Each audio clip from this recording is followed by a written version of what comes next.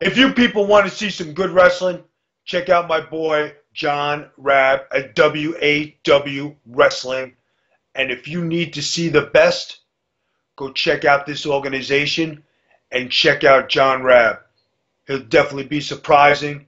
He's going to be uprising. He has a plan to run the place and bring it to grace. This is Big Vito popping off. Take it easy.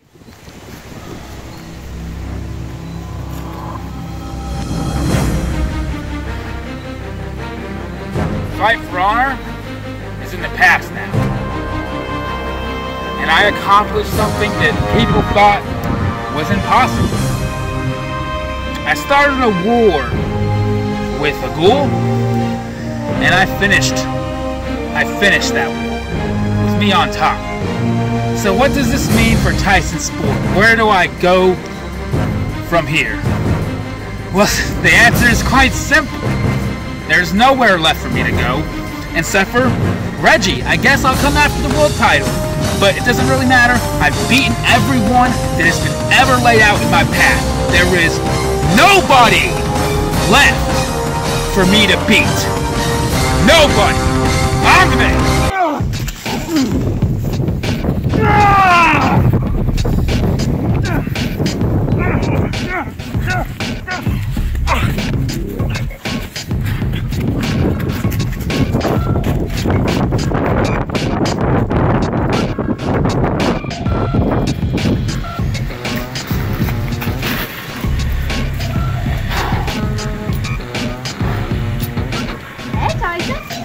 Oh.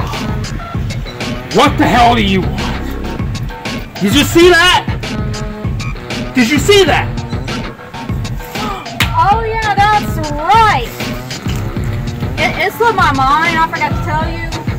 Yeah, I rehired him back. Cause What? Yeah, you heard me. Because after he woke up and once I told him what happened, he got pissed off. But then I told him about what you have done lately.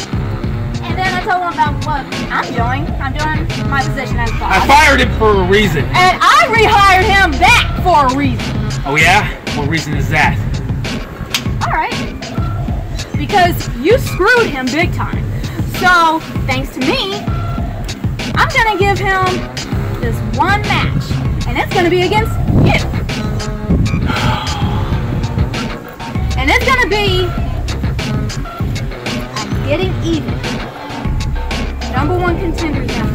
you, Tyson Sport, against Vincent.